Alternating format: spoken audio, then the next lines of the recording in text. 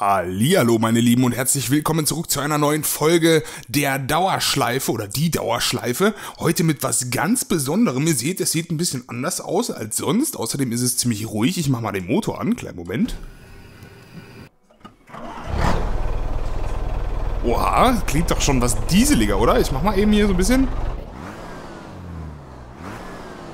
Was könnte das denn wohl sein? Wartet mal. Zack, bam! Sieht das nicht scharf aus? Ein riesiger Truck hier in R-Faktor quasi. Und, ähm, ja, aber eben hier ins Cockpit gehen.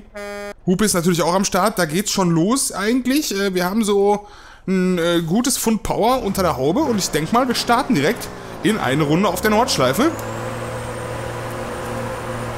Ihr seht's, dritter Gang. Wir legen einfach mal los. Es geht quer, was das Zeug hält. Wir haben so circa 1200 PS unterm Hintern. Und die Kenner haben es natürlich schon gemerkt, es ist nicht R-Faktor. Wir spielen Formula Truck 2013. Ein äh, neues, neues Game, relativ neu, von der Firma Reizer Studios oder von den Reizer Studios, die auch schon Game Stocker entwickelt haben und wo der gute Nils Heusingfield für die, oder Nils Heusing, Heusingfeld heißt er eigentlich, ähm, für die Fahrphysik zuständig ist. Und äh, das merkt man ja auch so ein bisschen. Man hat hier quasi einen Honda NSX unterm Arsch mit so, naja, 1300 PS und äh, circa 5 Tonnen. Ja, das heißt, wir wiegen über 4900 Kilogramm und das heißt für uns natürlich früh bremsen, früh bremsen und nochmal wieder früh bremsen. Früher runterschalten, obwohl die ersten drei Gänge nicht so schwer übersetzt sind, nicht so stark übersetzt sind. Aber dann kann es hier auch losgehen und wir driften hier mal gepflegt durch die Gegend. Das ist wirklich ein echtes Abenteuer hier in der Karre. In der Karre, in Anführungszeichen, in diesem Kahn, in diesem LKW, in diesem Schiff. Aber ich hoffe, wir können trotzdem mal eine einigermaßen Zeit hier irgendwie hinknallen auf der Nordschleife. Oh, starkes Untersteuern. Ich habe mir den Lenkwinkel auch unmenschlich hochgeballert, glaube ich. Der steht auf ca. 30 Grad und ich habe 900 Grad eingestellt. Das heißt, da ist wirklich einiges zu holen für uns. Und äh, dementsprechend können wir den auch im Drift dann einfangen. Ich weiß nicht, ob es realistisch ist. Ich kenne mich mit Trucks nicht so aus, wie ihr euch bestimmt denkt. Aber ähm, ja, wir machen das einfach mal so. Oh, und da sehen wir schon das erste Mal grün. Aber wir haben natürlich einen Rallye-Truck, der einfach mal so ins Übersteuern gerät hier.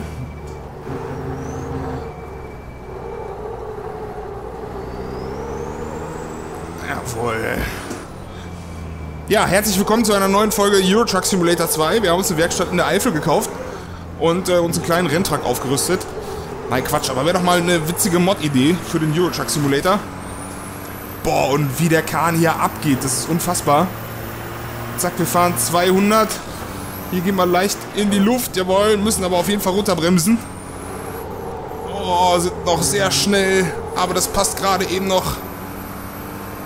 Durch den hohen Lenkwinkel auch sehr oft sehr starkes Untersteuern. Und ich muss dazu sagen, die Strecke ist hier als Mod nachträglich hinzugefügt worden, also ist nicht standardmäßig im Spiel mit drin. Aber wie gesagt, ist halt alles hier so R-Faktor-Basis. Sieht man ja auch dieselbe Engine. Selbe Anzeigen, zumindest ähnlich. Wir haben eine Minimap, das ist neu. Das gibt es nicht in R-Faktor. So, mal eben gucken, wie schnell wir hier durch die Kurve können. Ich gehe mal lieber in den vierten. Jawohl, dann können wir hier nämlich schön aufs Gas treten und uns rausdrehen. Das gibt's doch gar nicht. Das gibt's doch gar nicht. Ja, erster Unfall. Hier in unserem Truck, der natürlich unverwüstlich ist. Zack, zweiter Unfall. Sehr schön. Boah, ich gehe direkt mal in den dritten und kann da auch mit Vollgas hier locker rausbeschleunigen und die Reifen drehen noch durch. Hinter uns qualmt Ich kann es leider nicht zeigen, weil dann sehen wir das, wenn ich nach hinten gucke. Guckt man schön in die Kopfstütze, was natürlich auch super ist, ne? So, wir konzentrieren uns aber mal weiterhin oder überhaupt erstmal, um nicht noch einen Unfall zu bauen. Ich will ja eine schöne Zeit hinfahren. Und das ist natürlich jetzt schon hinfällig, aber... Oh, ein bisschen können wir noch retten hier, glaube ich. Unter einen dritten. Ah.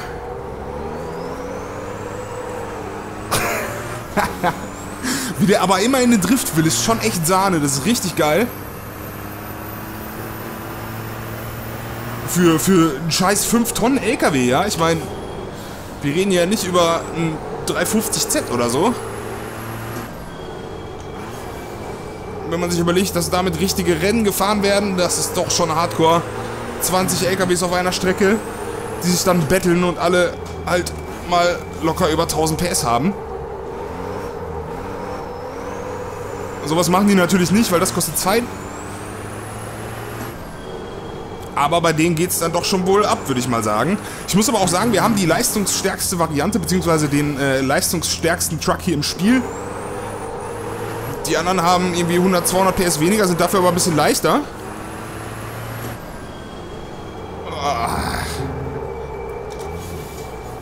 Naja, und wir haben dafür halt ein bisschen mehr Power. Ist aber auch gar nicht so schlimm, dann fallen mir solche Spielchen hier leichter. Sehr schön.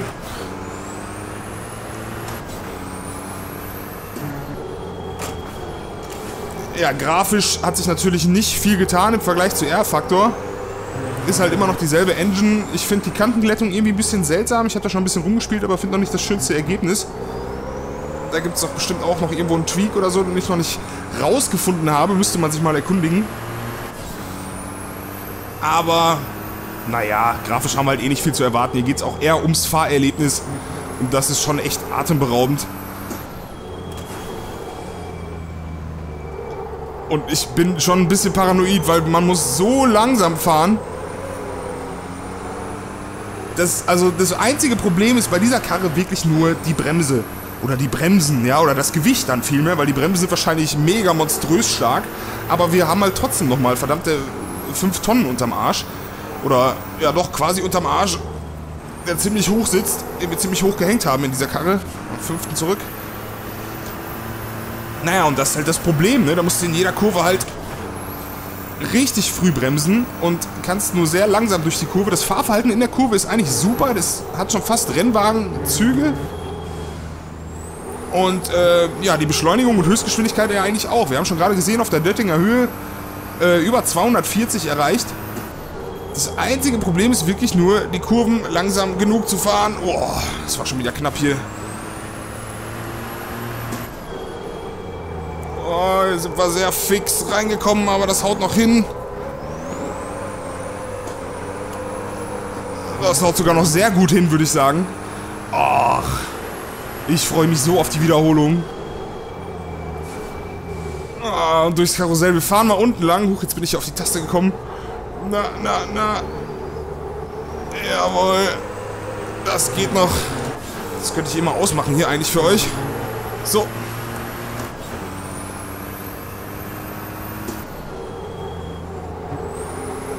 Und das können wir eigentlich auch mal ausmachen, oder? Ich meine, wir sehen ja genug.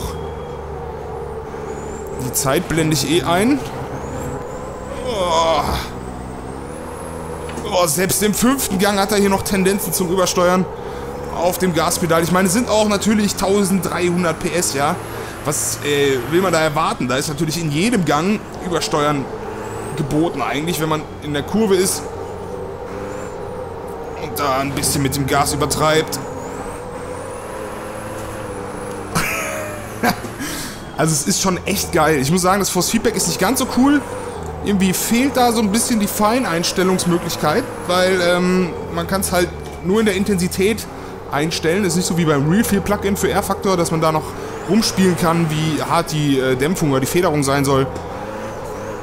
Hier hast halt nur die Stärke und ich musste da ziemlich weit runtergehen, weil es sonst bei den Drifts immer sehr stark gerasselt hat. Ähm, geklappert und gerasselt. Also es waren sehr laute, starke Nebengeräusche. Boah. Naja, und das konnte ich halt so nicht, da konnte ich nicht mit aufnehmen. Das wäre auch viel zu laut und viel zu nervig gewesen. Uh, nee, das gibt's doch gar nicht. Das zweite Mal von der Strecke abgekommen. Naja, auf jeden Fall habe ich die Force Feedback Effekte jetzt so weit runtergestellt, dass es uns nicht beeinflusst. Ich habe natürlich auch jetzt wenig Force Feedback und wenig Sprit mitgenommen, wie ich gerade sehe. Das ist vielleicht nicht ganz so klug gewesen. Da habe ich vorher echt nicht dran gedacht.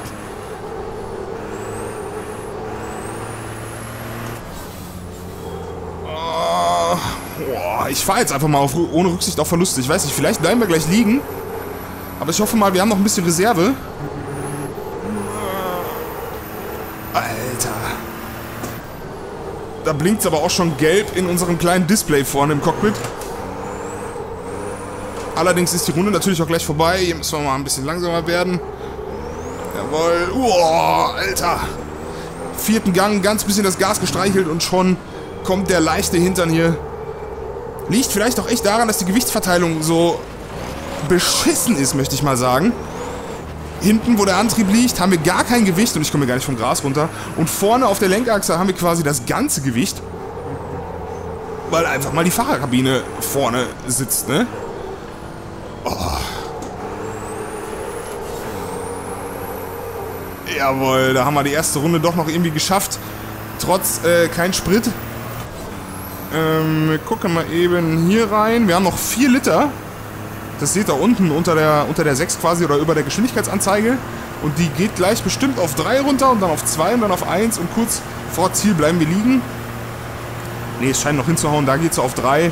Aber wir schaffen schon mal eine schöne Runde und ich glaube, das reicht auch erstmal als Testeindruck hier für Formula Truck 2013. Soll ja auch eigentlich mehr so ein, so ein Spaßvideo jetzt gewesen sein, ne? Meint man ja nicht ernst. Aber auf die Zeit bin ich trotzdem mal gespannt und ich bremse mal hier ganz langsam aus, weil uns gleich eh der Sprit ausgeht. Und wir fahren vielleicht da vorne hinten in die Box. Die Geräusche sind auch mega geil. Und dann hier halt das Rumdriften, wenn man es denn kann, wenn man früh genug gegenlenkt. Ich wollte natürlich hier hin, das war alles geplant und alles Absicht. Genau, hier wollte ich hin in die Box, ne?